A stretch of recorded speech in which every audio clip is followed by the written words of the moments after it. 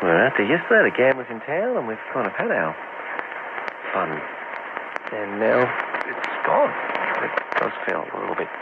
I like that. I suppose it's um, like what happens at any party. Um, it's fun, and then you get a hangover. It's great. Well, let's find out what's going on uh, at Paddy's house. Uh, what is the tea, Paddy? Hi, we're having mini lamb fries, but they're actually in a, a.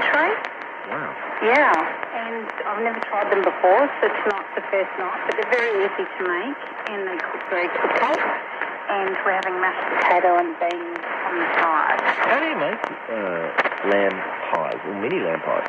Well, I just used some lamb mince, and I added some oil and some beef stock, a bit of red wine, some rosemary, and some cheese. Sounds fantastic. How away from Alice you? I must come out. I'm a hundred K. Yeah. I could do that. It's not that far. You have to road up to a lady station.